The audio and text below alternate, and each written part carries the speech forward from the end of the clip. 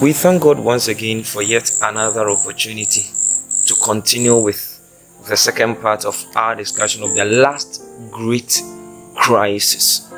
And so we started by talking about the fact that um, in Daniel chapter 12, verse 1, at that time of trouble, at that time, sorry, shall Michael stand up, the great prince which standeth for the children of thy people, and there shall be a time of trouble such as never was since there was a nation, even to that time. That is in Daniel chapter 12, verse um, 1. And then, of course, um, in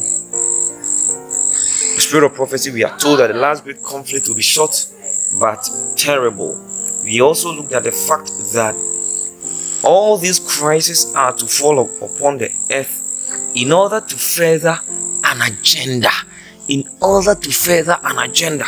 And then, of course, we looked at that agenda in Revelation chapter 13 um, verse number 15 and 16 to cause the earth to receive the mark of the beast. That is the rationale behind this whole crisis, which is to fall upon the earth. Of course, we are to also understand that the crisis covers the entire sphere of the world, as we liken it to the case of Egypt, where there was famine across the earth. And of course, there was nowhere to go but in Egypt. But in Egypt. So in this case, as the brothers of Joseph had no other place than Egypt, the Bible says that, and he, that is the second beast, will cause all to receive the mark of the beast, and that no man may buy or sell save he that has the mark.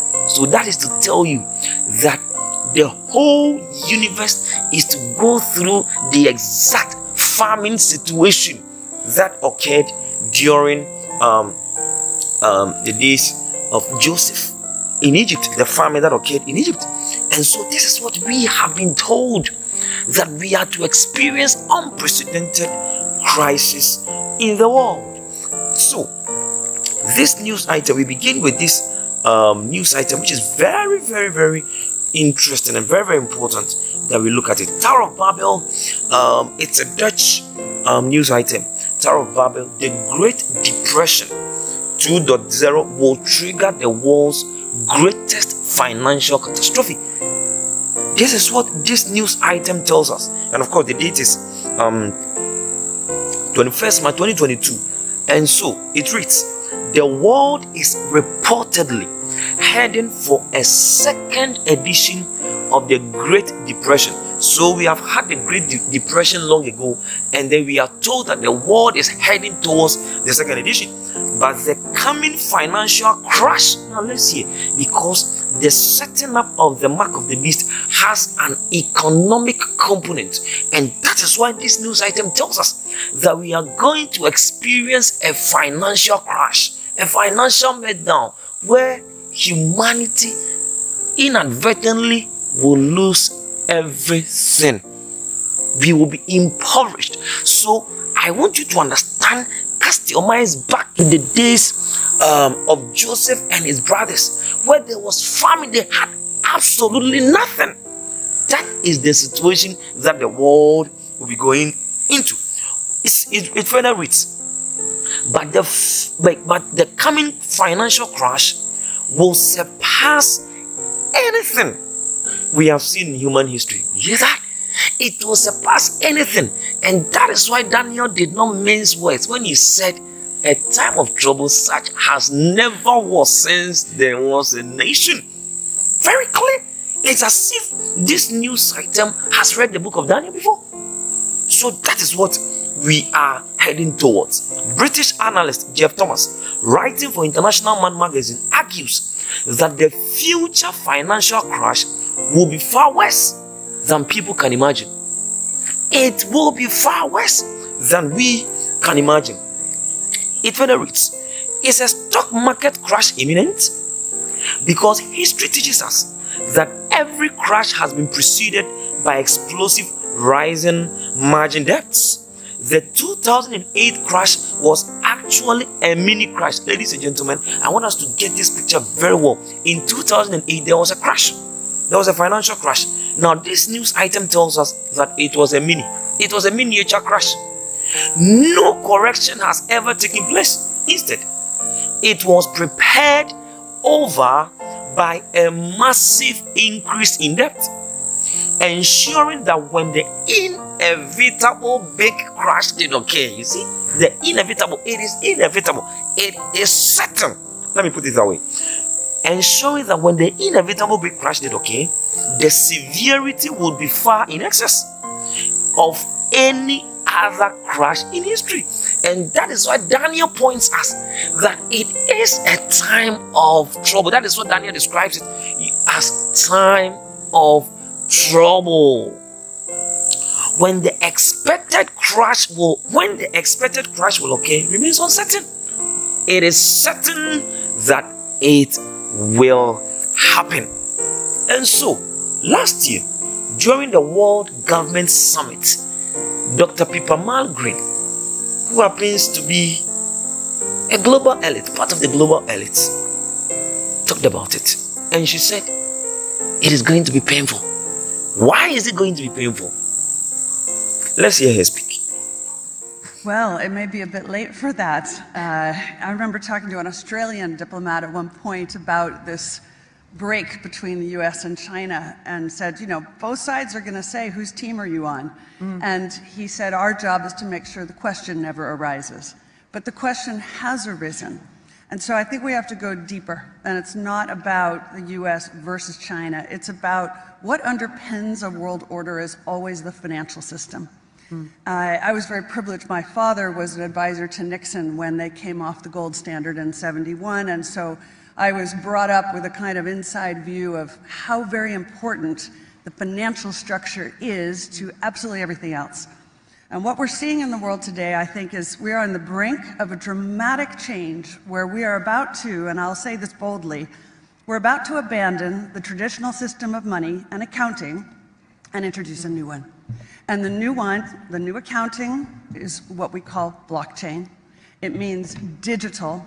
It means having a almost perfect record of every single transaction that happens in the economy, which will give us far greater clarity over what's going on. It also raises huge dangers in terms of the balance of power between states and citizens. In my opinion, we're going to need a digital constitution of human rights if we're going to have digital money. Uh, but also, this new money will be sovereign in nature. Most people think that digital money is crypto and private. But what I see are superpowers introducing digital currency. The Chinese were the first. The US is on the brink, I think, of moving in the same direction. The Europeans have committed to that as well. And the question is will that new system of digital money and digital accounting accommodate the competing needs of the citizens of all these locations so that every human being has a chance to have a better life? Mm. Because that's the only measure of whether a world order really serves. All right, so we've had, heard talked about the fact that it is going to be very, very painful. That is to say, people are going to lose so much wealth. That is the point. The economy will just go down. There's going to be a crash almost everywhere and you are just going to lose everything. And so they describe it that you own nothing, but you'll be happy. Now, the question you are asking is that which areas will be affected? Are we going to see just economic or financial crisis? The answer is no. In fact, the World Economic Forum, we can see that recently this forum has really become very prominent. It has been there for years, but recently it has become very prominent, and a lot of people are talking about it, and they are speaking on so many issues. And it is very interesting that they predicted the pandemic a year ago, and it happened. It just happened. Let's watch this video.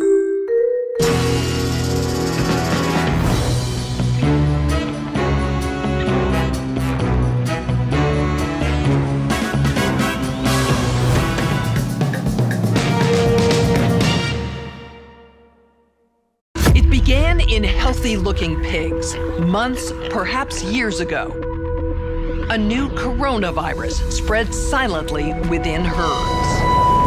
The Event 201 scenario is fictional. Today's scenario is going to simulate meetings of a multi stakeholder group called the Pandemic Emergency Board.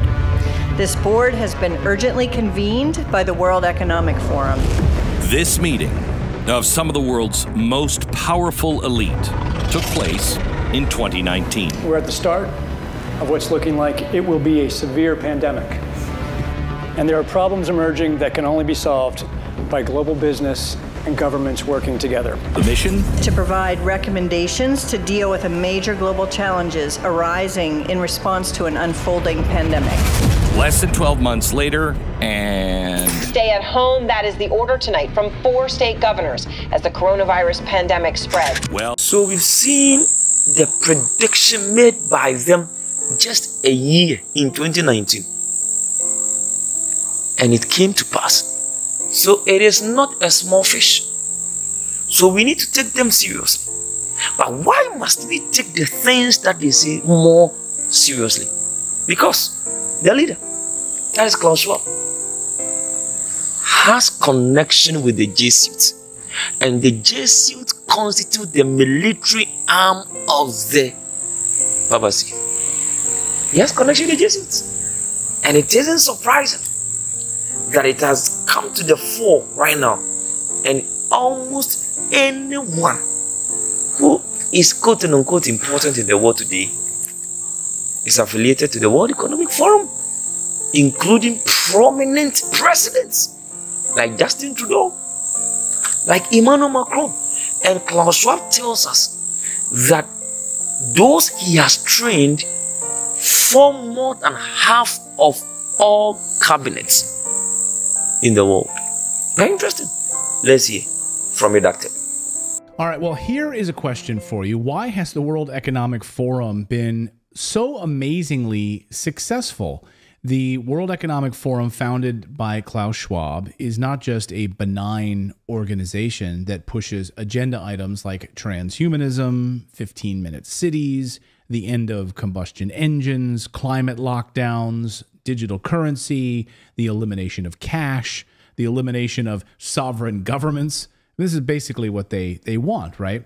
It would be one thing if all of these items were just pie in the sky ideas, but it's quite another thing how all of these things are actually coming to pass. Many governments have been implementing many of their policies, uh, not just in the United States, but in France and New Zealand and Canada and Australia, Ireland, the Netherlands. The list is actually frighteningly long. How does this happen? How did they get so strong? Well, it turns out that the World Economic Forum has a very good farm system. You know, it's like uh, Major League Baseball and the minor league baseball teams. Like they they farm it out and they get them. They start them young.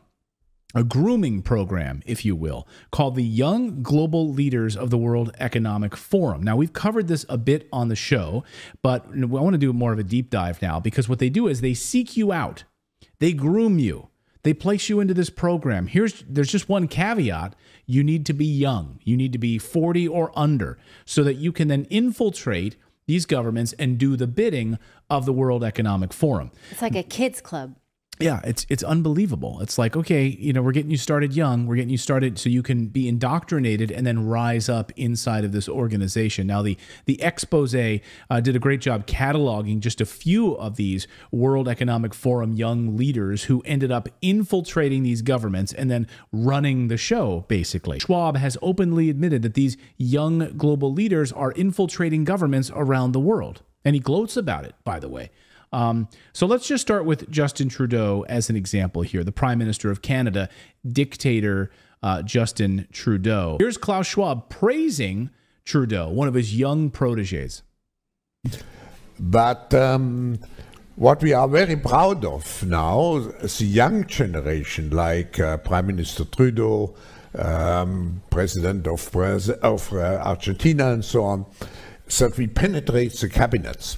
So yesterday I was at a, rece- at a reception for Prime Minister Trudeau, and I know that half of this cabinet, or even more half of uh, half of this cabinet, are for our actually young global leaders of the World Economic Forum. Isn't that sick and disgusting? That's just one example in Canada. A member of the young global leader class of 2020, very, very young, Sanna Marin, who became the world's youngest serving prime minister when she took office in 2019 in Finland.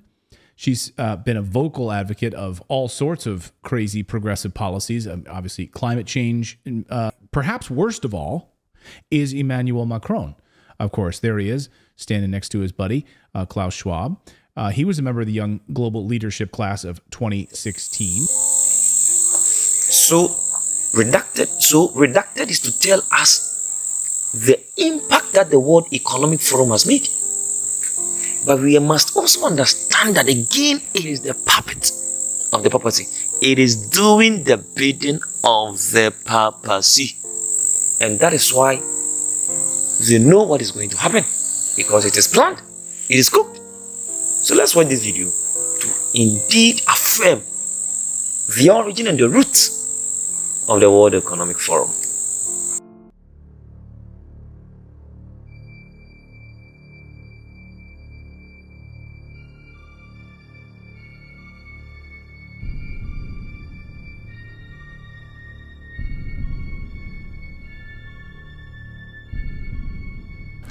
The missing link surfaces at last. New video of Klaus Schwab of the World Economic Forum, connecting the dots between revolution in the Catholic Church 60 years ago and the Great Reset.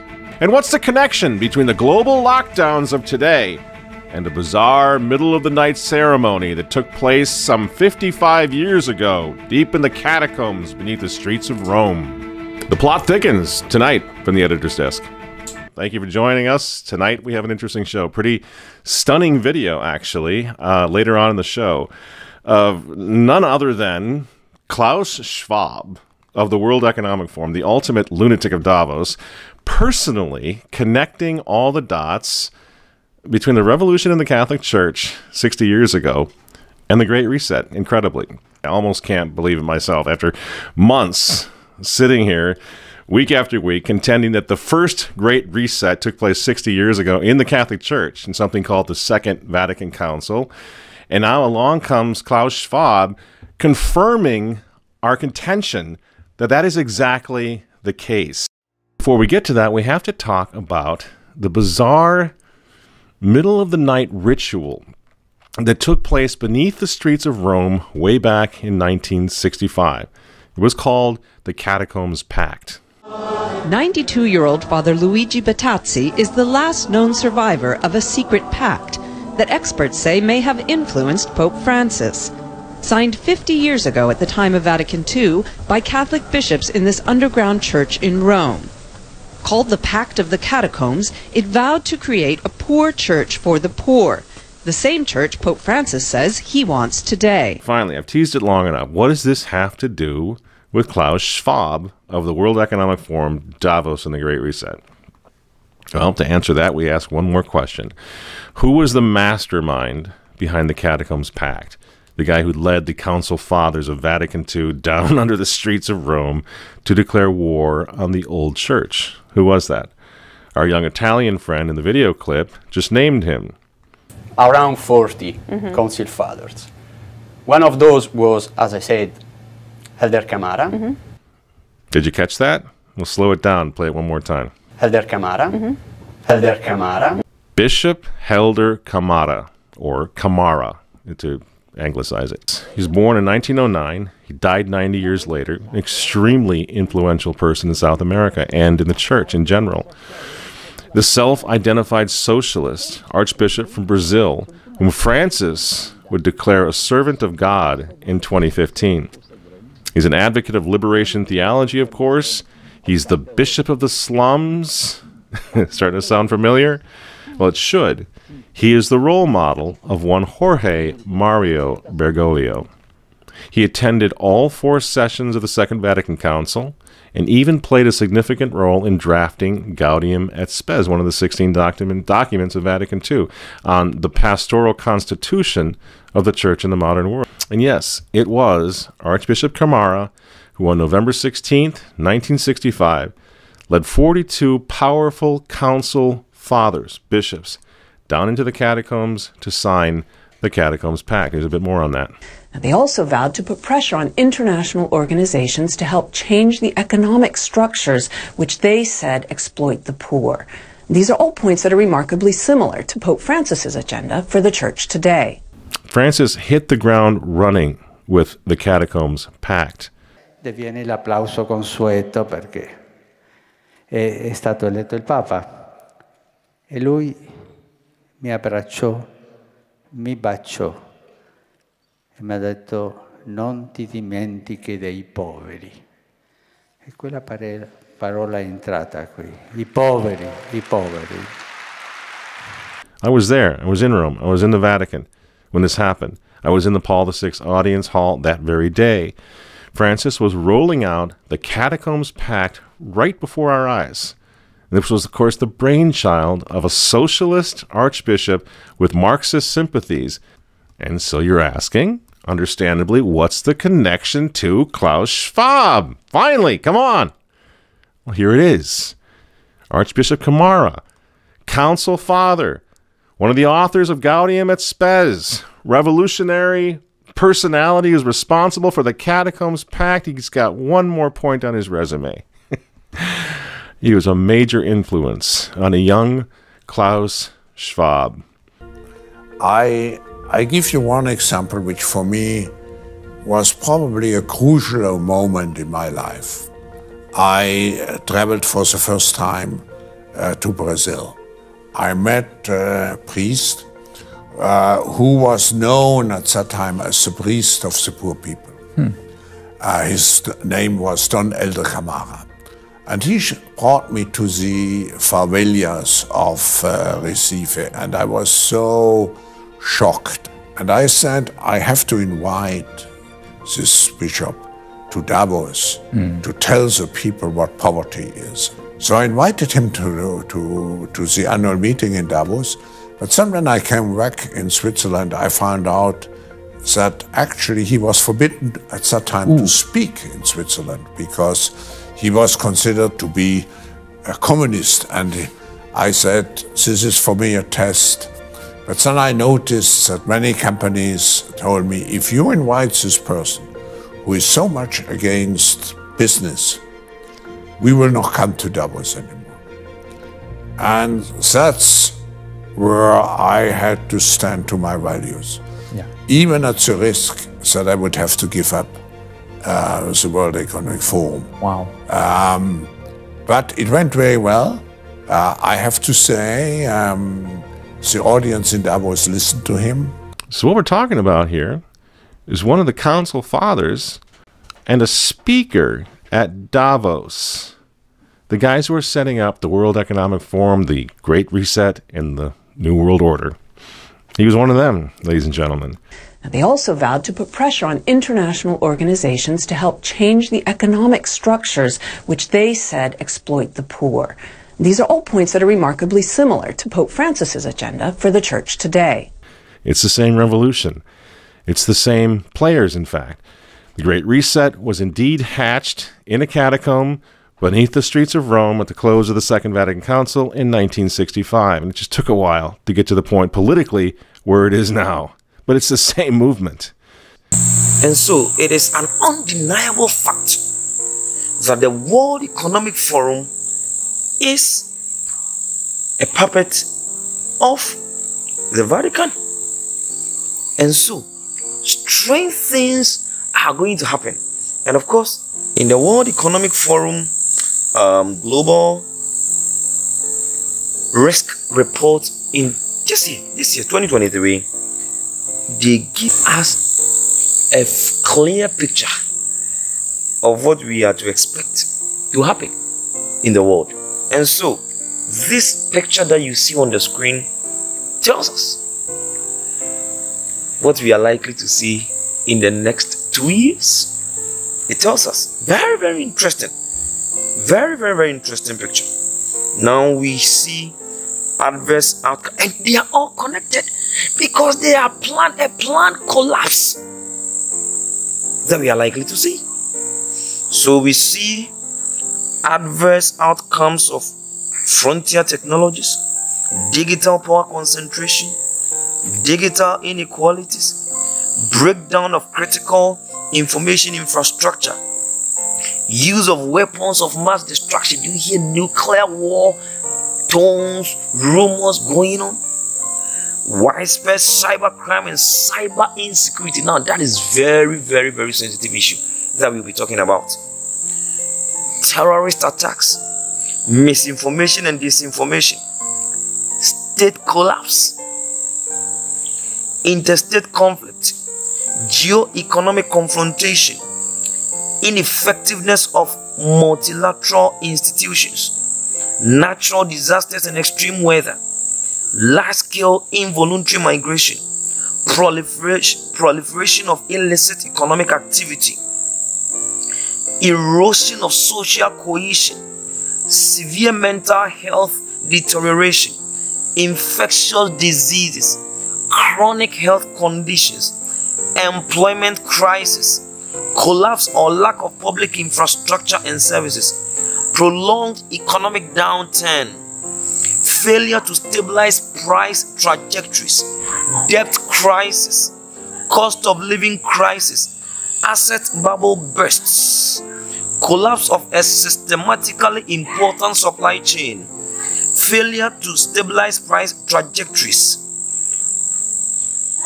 environmental damage incidents, failure to mitigate climate change, biodiversity loss and ecosystem collapse, natural resource crisis. So, the World Economic Forum gives us a clear picture of what we are going to see in the world. Ladies and gentlemen, we have been told from the spirit of prophecy, and that is going to be my last quote for this discussion. The spirit of prophecy tells us so clearly that for fear of wanting food and clothing, the spirit of prophecy is very clear that for fear in Maranatha page 162 paragraph 4 for fear of wanting food and clothing they will join with the world in transgressing God's law this is the agenda to deprive humanity of basic necessities so that we can be controlled and coerced into accepting a system that will lead to our total and eternal ruin. May God help us to clearly understand and also get to know how we can avoid this situation in Jesus' name. Amen.